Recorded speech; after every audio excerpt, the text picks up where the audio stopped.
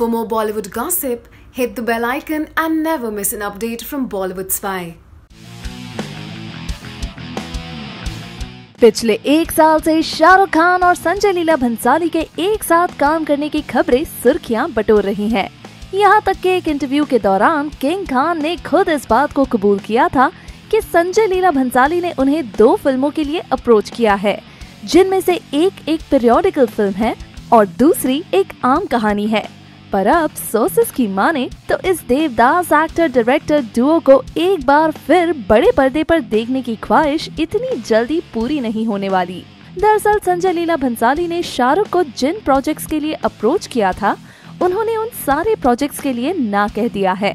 शायद बेहतरीन के तलाश में शाहरुख ने बेहतर को टाल दिया है। लेकिन इसी के साथ इन दोनों ने जल्द ही वापसी करने का वादा किया है। तो दोस्तों आपकी इस बारे में क्या राय है, हमें नीचे कमेंट सेक्शन में बताएँ।